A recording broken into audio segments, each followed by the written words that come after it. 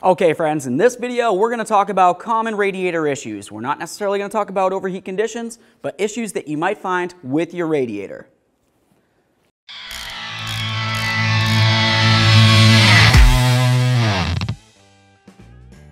One of the first common things that you might happen to notice if you have a radiator leak is your engine's temperature starts rising up. Maybe you're driving in your vehicle and you're looking at the gauges and you see that gauge just start going up, up, and up.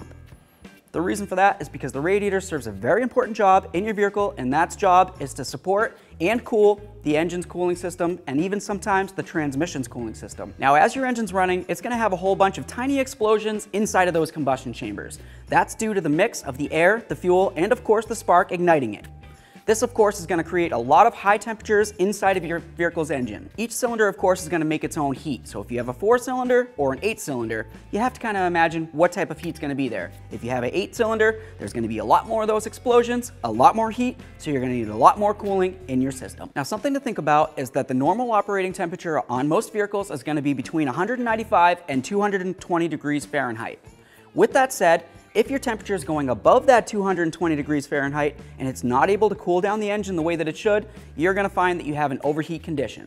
Now the radiator has a very important job. Like I said, not only is it gonna be cooling that engine, but in a lot of cases, if you have an automatic transmission, it's also gonna be cooling the transmission.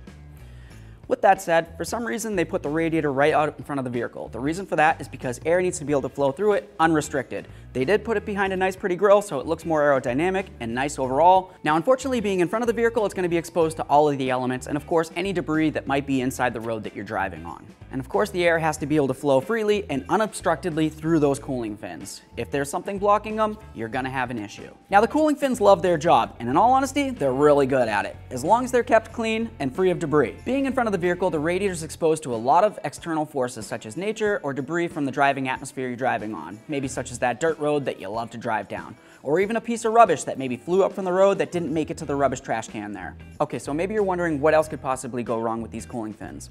Well, they're made out of very thin aluminum. With that said, aluminum is a very soft metal. If you were to look right down at the radiator right here, what you might happen to notice is that they're peened over or pinned over. If you happen to see this, obviously that's going to cause airflow restriction that's supposed to be getting forced through the radiator and be able to cool the coolant that's flowing through. Of course, your engine needs all the help it can to be able to cool down, especially if you have a bigger motor such as maybe a V8 or even a V10 or something like that. And of course, something else that you might happen to see would be your cooling fins are actually falling apart or even your radiator starting to separate. There really isn't too much that I need to tell you about that because I'm sure you can imagine what would be happening. Okay, so that's pretty much all I've got on cooling fins, but there is more to your radiator that you need to pay attention to. You're also gonna have plastic tanks. On some vehicles, they might be located on the top and the bottom, other vehicles you might happen to notice they're from side to side. These plastic tanks are going to be filled with coolant, so there needs to be a seal in between the area where it connects onto your aluminum part of your radiator. If you haven't been keeping up with your maintenance or cleaning of your fins of your radiator, you could find that you have an overheating condition. In which case, as the coolant overheats, it's going to expand, and of course there's going to be more pressure inside your cooling system. These tanks are made out of plastic generally. Plastic tends to crack, especially if it's under pressure, so you might happen to find that you have a crack in your actual tubing of your radiator. Another common place for your radiator to leak would be the seal that goes between the tank and the aluminum aspect of your radiator. A common reason why that might happen is, of course, well, seals break down over time. Something that might help that break down a little quicker, though, would be if you have a contaminant in the system. For instance, on this particular tank of a radiator, if you were to look on the inside, you can see the area where the transmission fluid is supposed to flow through to be able to cool down. If there was an issue with any of this and your transmission fluid made its way into the cooling system, of course it's going to be a contaminant and the transmission fluid is going to break down that seal on you. Now if you keep up on your cooling system maintenance, such as maybe flushing the system or even taking a nice garden hose and spraying out inside of those fins, it's to help make sure that your radiator lasts for a very long time. It's easy and it's the least thing you can do for your cooling system. So let's go ahead and talk about some things you should think about if you're replacing your radiator. You never want to open your cooling system when it's hot. So if you go over to that radiator cap and you happen to notice that it's very hot, you definitely don't want to open it. The reason for that is because the contents inside your cooling system are going to be hot as well. So if it's hot and it's under pressure, once you open that, where's it going to go?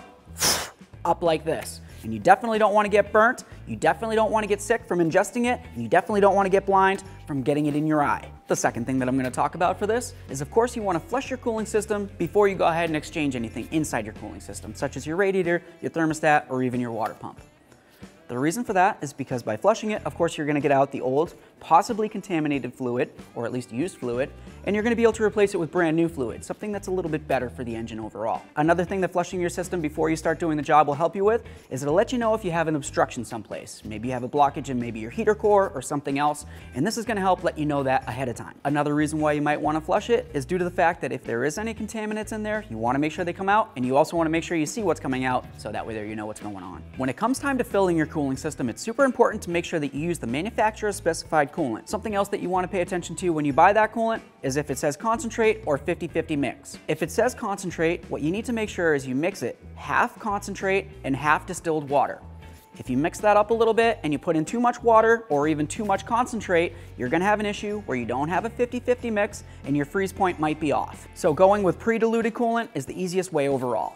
Something else that's pretty much a must when replacing your radiator would be replacing the radiator cap at the same time. The reason for that is because as you'll notice on the lower aspect of your radiator, you have a little spring, and that's to activate a valve.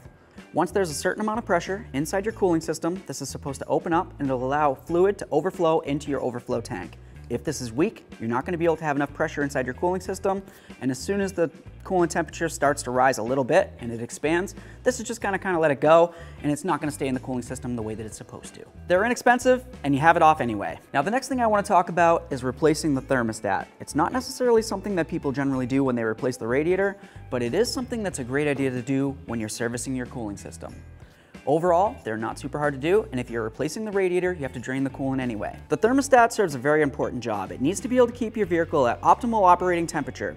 If for some reason it's weak and it opens up too easily, that's gonna make it so your vehicle will actually heat up much slower. So if you're in the wintertime and you need your vehicle to heat up, well, it's gonna take a little longer. On the other hand, if it's stuck in the closed position, it's gonna restrict the flow of your coolant going through your system, and you're probably gonna notice you have an overheating condition. Something else that I'm gonna mention real quick is in my opinion, you should never use a radiator stop leak kit. The reason for that is because they usually come in little tabs, and once those tabs dissolve inside your cooling system, they're gonna dissipate and all the little particles are gonna flow around through your cooling system. As this is going on, what's supposed to happen is those little particles are supposed to find any little hole where coolant could be seeping or leaking out of, and they're supposed to fill that hole. The problem is, is they don't kind of only go there. They don't know that that's their only job. What they tend to do is actually just sit wherever they want. With that said, you have a lot of stuff going on in your cooling system. You have that thermostat that I showed you. You have the radiator cap that I showed you. You also have a heater core that's located inside and behind your dash. The coolant needs to be able to flow through all these freely. If it has buildup, because a lot of this stuff just kind of floated around and accumulated in one spot, it could block up that thermostat, which would be an issue. It could block up that heater core, which of course would be a major issue. And of course, it leaves a lot of sludge inside your cooling system, which is just gonna be a mess. The best thing, of course, would be to be able to find the leak and fix the leak ASAP. The last thing you wanna be doing is driving around with a leak where coolant's getting on the ground. In my opinion, the best thing to do would not be to use the stop leak. It would be, of course, find the leak, find the issue with the part, and of course replace it. Lastly, if you have an issue with your radiator leaking coolant, it's not only gonna be a safety issue for you, but it's also an issue for the environment. Coolant's a chemical and it's poisonous to you or anything else that might happen to ingest it, and you have to also think, if it's super hot, it might vaporize and it might get into the air, which of course could lead to health issues, maybe you're breathing it in, or it gets into your eyes or face. Generally, if you smell a sweet smell towards the front of your vehicle, that means you have a leak in your cooling system. It could be vaporizing out of there. If that's the case, you need to have it fixed ASAP. Okay friends, anytime you're gonna be working on your cooling system, you always wanna make sure you have hand and eye protection. With that said, hopefully you liked the video. If you did, smash on that like button for me. It would mean the world. While you're at it, why don't you go ahead and subscribe and ring the bell. That way there you can be kept up with all of our latest content. Thanks.